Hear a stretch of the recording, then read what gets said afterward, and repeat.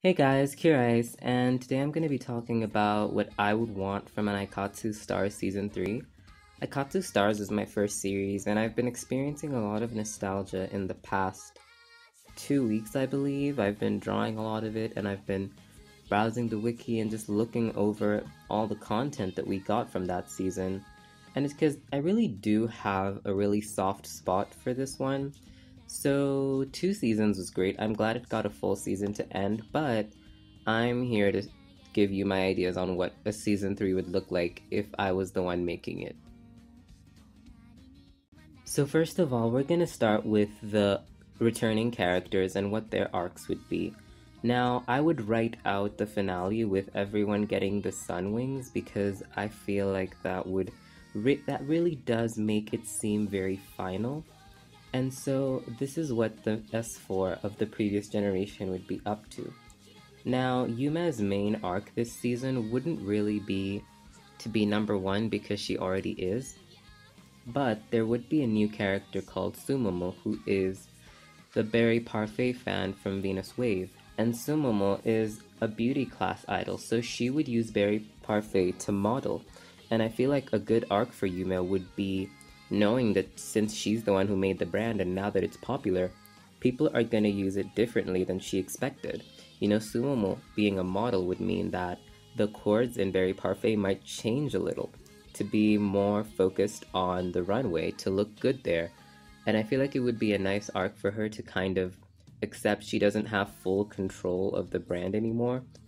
In case it's not making sense, what I mean is I'd want to see her grapple with the idea that her brand is no longer her and Koharu's little thing, and now people are going to change it and possibly think about the fact that she's not going to be in charge of it forever, you know, really understanding, yeah, you're at the top now, but the same way you climb to the top, other people are going to do that too. Now, as for Akko, I would have Akko paired with Stella because I feel like their arcs are really complementary I feel like I am going to be tying a lot of the previous characters to the new ones. So Stella is another girl from Venus Wave. These were the girls I used for the next generation. And what I'd love for Akko's arc to be in season 3 is wondering if she's not really a good actor, but a good S4 leader because Stella would be really rebellious and kind of delusional about her ability, so she would make it very hard for Akko to work with her, and eventually Akko would have to set her foot down and realize I'm in charge here and I need you to improve.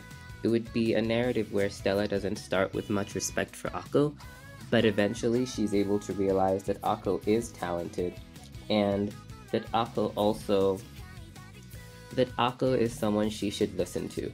Also, in this timeline, Akko had star wings. Um, I don't know how I'm gonna write that into canon. You can just imagine whoever you wish didn't get Star Wings didn't get them, and Akko got them instead.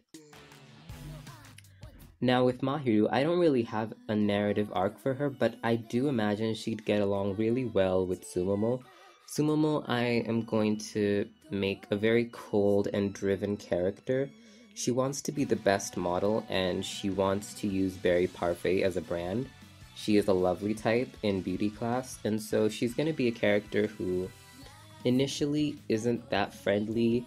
Her fans don't really get to interact with her as much, and that's something Mahiru would help her with. Mahiru would help soften her a little and have her fans and have her come to realize that she needs to be a bit kinder, she needs to be a bit more considerate, a bit more open, and they would have kind of a sisterly bond up until the point that at the end of the season, when Mahiru loses to Sumomo in the election, she's okay with it because Sumomo has been able to improve so much in one year and she'd actually be really proud of it. She wouldn't feel sad about it. Another returning character would be Haruka Ruka. She didn't get to have any screen time, so I guess that we'd just be giving her dance class episodes, you know. I do imagine an episode of hers focusing on an obstacle course which she wins as the most athletic student and this would have her perform her solo at the end. It would be a fun episode to show the girls training, kind of like the TriStar selection episodes in the original Aikatsu. And of course, Haruka Ruka would have her own admin, who I'll introduce when I'm talking about the new characters.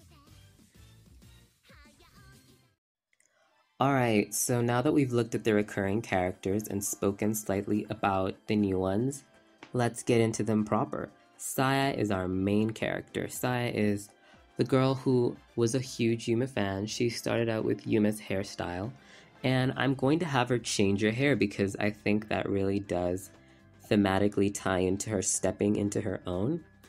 Um, initially, she would want Berry Parfait, but you already know that goes to Sumomo, so her brand would be Wishing Palace. Now, Wishing Palace is a Cinderella brand that I came up with. It's inspired by Cinderella, and the dresses are from different parts in the story. So that would be Saya's main brand, and it's what she would wear throughout the season.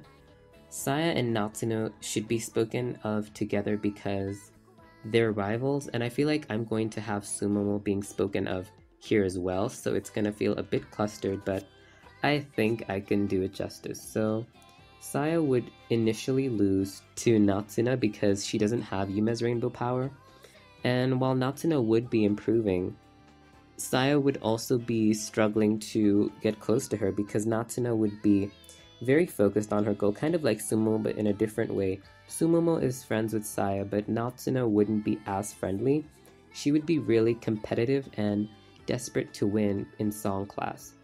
And so Natsuna and Saya would end up being friends by the end of the season, but I would have that be a long and slow journey. Now, at some point, I would have Saya surpass Natsuna, so we can get a really nice training arc for Natsuna where she takes a break, kind of like what they did with Laura, except this time Natsuna actually ends up being S4 instead of losing. I'd like for Natsuna to meet Laura a few times. I'd like for them to perform together, and I'd also think it would be really cool if Laura showed up to give her her final PR before the S4 selection.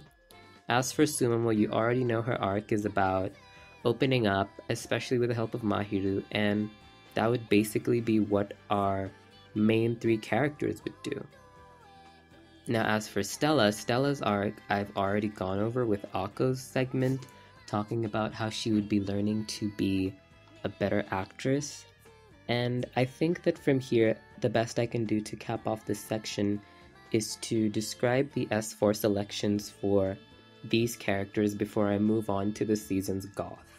So I think it's really important for their S4 episodes to really complete their character arcs, and so in the S4 selection for acting class, Stella wouldn't be satisfied with her PR and insist on trying to improve it last minute. Now, Kirara would be involved here, and she would tell her that there's no point because the S4 selection is on that day. Stella would keep insisting that she can improve it and that she's going to do a good job. So, of course, this would kind of relate back to Stella being really unsure of her actual potential. She thinks she can do a lot more than she can. And Akko would find out about her trying to do this and advise her against it, but Stella would initially argue with her, and the two of them would have a pretty heated argument that episode. But as she sits in the dressing room as Akko walks out frustrated, she'd take a look at it and realize that chances are she couldn't improve it even if she wanted to, and there's no way she'll do that on time. While it doesn't really tie into acting, I do feel like it would be important to have a character like her kind of give up a little bit and to understand that she can't be as good as she wants to be now, and she needs to accept that she's not as great as she thinks she is. So that's what her episode would be about. The beauty class S4 selection would be pretty boring in my opinion. Well, it would be fun, but I've already described it. I already I've already described it. Mahiru is happy she's fine with losing. And she's my favorite stars idol, but that's kind of why I feel comfortable passing the torch to another beauty class idol because I feel like Sumomo would be my favorite character in this season, apart from the OC I made. So that would be the S4 beauty class selection. Now, song class would be last, as it is the one with the main character, and the tension would be pretty high. Laura and Hime would be here, and while Saya would be nervous, Natsuno would be pretty calm. she would ask to sit with her with Saya and they would kind of help each other prepare. Yume would kind of watch them fondly and think about how they barely got along in the beginning, but now they're really, really close. And we'd have Sumomo and Stella come to cheer them on. Before the performances start, Natsuno would admit to Saya that she views her as her best friend, which is something she wouldn't have said the entire season. And with that said, the episode would end as Yume performs, taking her to the top of the song class rankings. Now, the next episode would start, and the performance would still have people pretty stunned. It would kind of be like Love Me Tear in Aikatsu Friends when the crowd pauses and they're not going to clap yet. And everyone would wonder who could top her score, um, as the next name would read out Saya, so Saya would go out and perform. Saya would perform her solo, and she would come up second.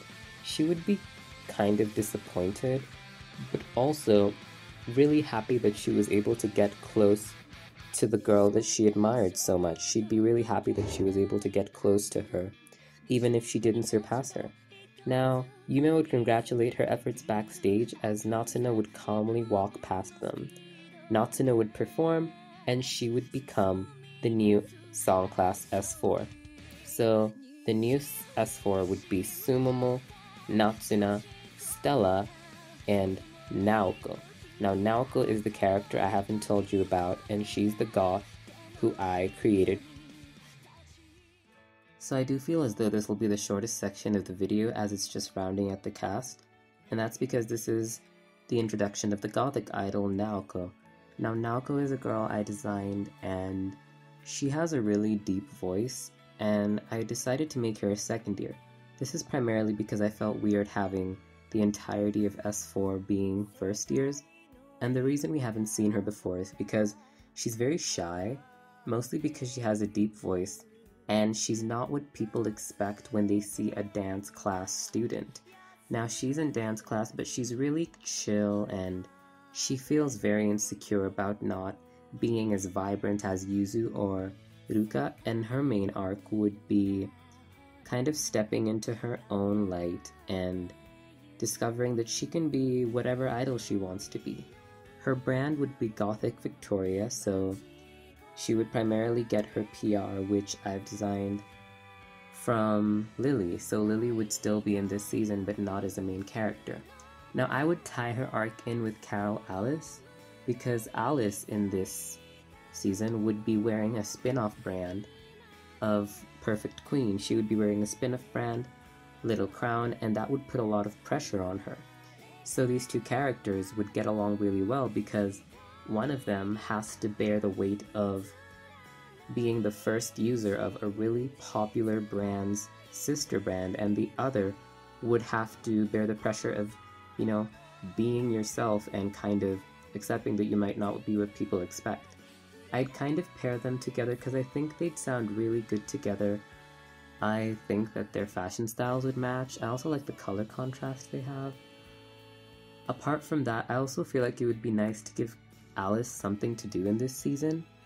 But with that said, that is who I would make the S4 for season 3. And in terms of a season 2, I wouldn't really want one. I feel like the events of this story could be wrapped up in a movie. A movie would be much tighter and really let Saya and Natsuna make their way to the top of the idol world in their second year if that's how the movie wants to take it. But I thank you all for watching this far. Um, subscribe to see more of this content, and that's pretty much it.